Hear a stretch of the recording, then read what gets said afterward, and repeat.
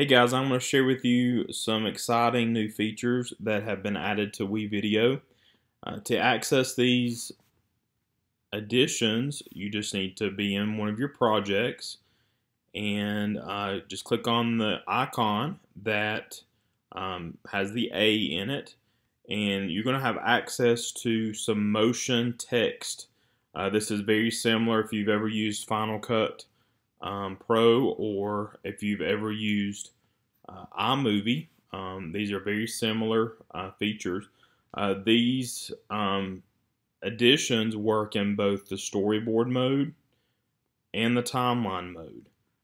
In timeline mode, you have the possibility of putting this motion or moving text over videos and images. So to get started, um, since I'm in uh, storyboard mode, all you have to do is choose the one that you like and just drag it down to your storyboard. And to edit it, you just click on the pencil. And here you type in the primary text. You can change the font. And in the secondary text, uh, you can also change that. And then you can also change the color uh, if you would like. And then when you're finished, you click done and hit play. And that plays that text for you. Um, I also added one at the beginning. I didn't edit it though, but just so you can see, there are, um, looks like there's about 20 different um, movable texts that you can choose from.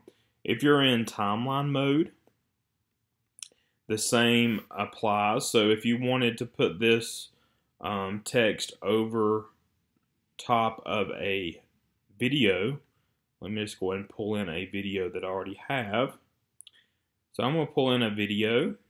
So I'm going to move that to the main video line, which is uh, video one.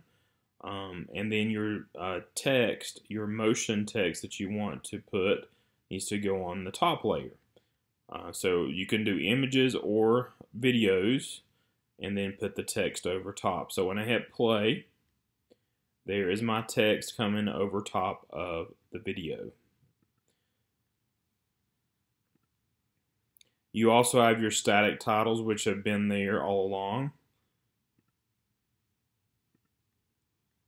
And also in McDowell County, um, you should have access to a shared um, folder.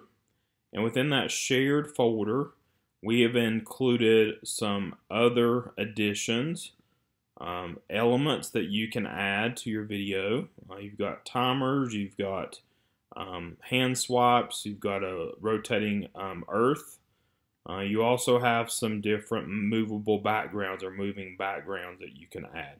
So um, that's something that's available for you in uh, McDowell County School District um, that we've added um, for you to add to your videos. So hopefully you'll check out these new additions and uh, enjoy creating.